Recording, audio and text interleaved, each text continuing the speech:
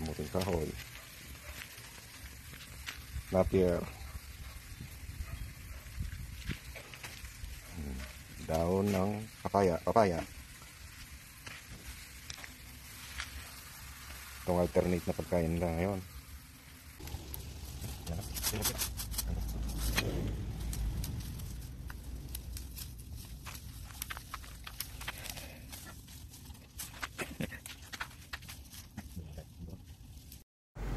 Yun o, na-chop na. Ah, i-mute natin kasi mayroong music. Yun o, ang ganda ng ano, green na green. Ihalo sa pitch niya siguro yan. Mga kaagapay. Kasi problemado ang bayaw ko sa pitch eh. Tinitipin niya minsan kasi nagkukulangan tayo ng budget. Kaya ginagawa niya ang lahat yan, nagpapakain na para makatipid sa ano natin sa mga feeds. Nagmimix pa lang hindi nagpapakain. Yan imimix niya dyan para makatipid nga sa feeds. Ay nako ang pag-aalaga ng manok. Grabe po ang mga gastos ng manok. Kaya katulad ng sinasabi ko kung wala kang pang suporta hindi ka pwede mag magalaga ng manok na marami. Kasi yung mga yung mga manok natin lahat ng sisiw na nabili natin ah, 336 heads. So marami nang namatay. Siguro mga 50 na yung namatay. Kaya ah, ano na yan? Ah, less than 300 po sila. At least more than 200 kaya yung bayaw ko pero mo umuubos sila ng na less than 10,000 pesos sa a month. Ano na yun? Tinitipid pa kasi marami ngang pinapakain yung bayaw ko na hinahalo. Asola, mga dahon-dahon, tapos kung ano-anong pinupulot niya mga kamuting kahoy, ganun. Tapos yung ubod ng saging. Yan, mahirap po ang kailangan mag pwede ka magsimula kung dimot ka sa budget konti lang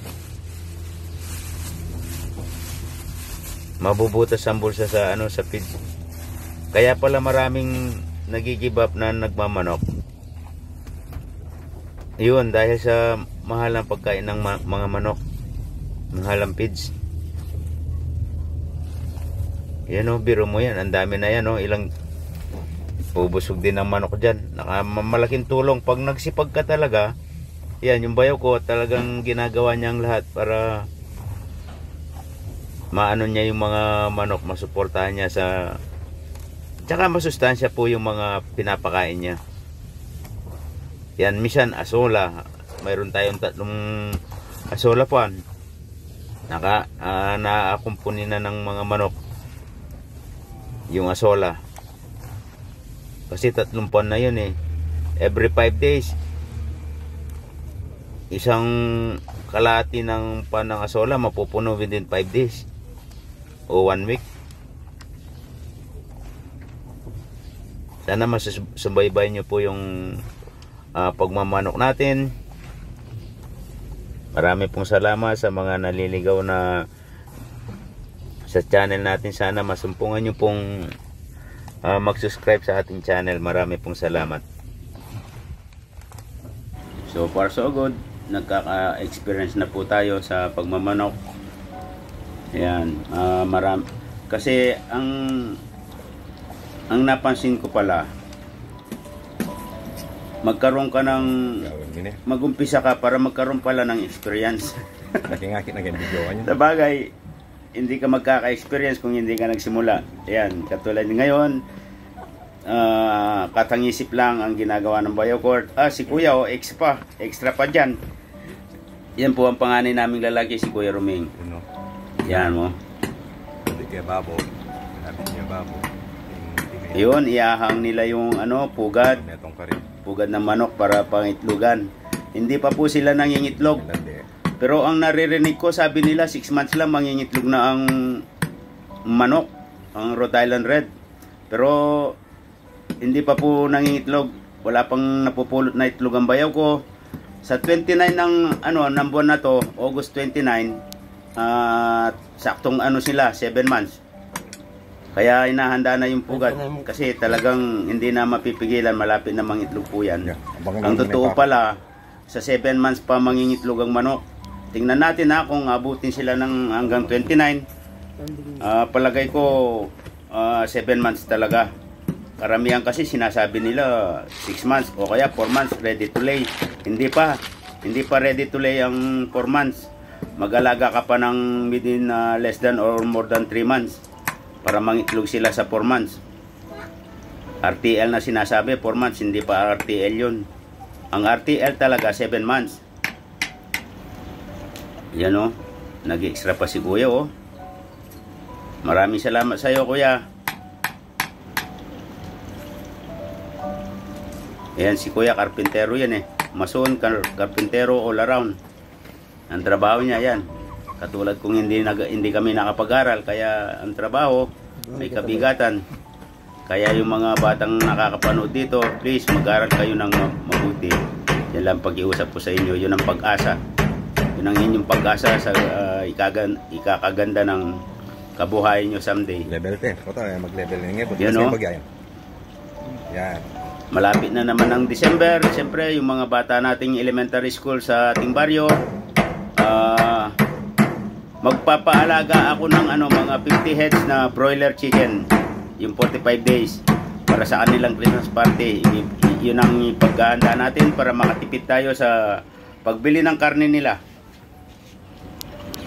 So, yun na lang ang ihanda nila sa kanilang Christmas party. Yung, yun ang plano ko sa December. So, mid ng November, mag, mag-ipon na tayo ng, maggalaga na tayo ng 45 days na manok. 50 heads. Kasya na sa kanila yun. Siguro palagay ko mahigit na 300 yan eh. Mga, mga estudyante sa amin, yung mga elementary school. Pag-iusap ko lagi sa inyo guys. Mag-aral kayo ng mabuti, okay? Si Tanjen, pinangakuan ko pag nag-first honor siya, bigyan ko ng 5,000. Tandaan mo yan, Tanjen. Tanjen pala.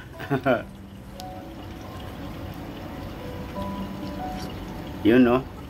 Hinahang nila. Tapos ipapatong lang nila yung pugad dyan. Nakita ko bumili sila ng pugad eh.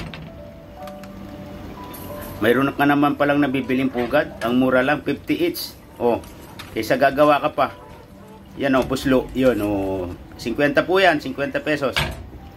Mura lang. Sa bagay, yung naggagawa niya, sandali lang niyang lalayin yan eh. Lalayin? Paglala. Parang banig eh. Yan, tinatali ng alambre. Matibay ang ginawa nila. Walang, ano yan, walang pundasyon. Ano, nakahang.